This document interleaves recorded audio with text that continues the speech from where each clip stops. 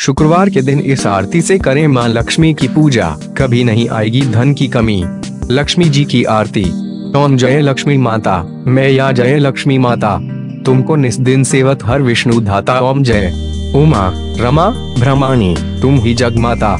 सूर्य चंद्रमा ध्यावत, नारद ऋषि गाता ओम जय। तुम पाताल निर्वंजनी सुख संपत्ति दाता। जो कोई तुमको ध्यावत, रिद्धि सिद्धि धन पाता ओम जय। तुम पाताल निवासिनी, तुम ही शुभ दाता कर्म प्रभाव प्रकाशिनी भव निधि की त्राता ओम जय।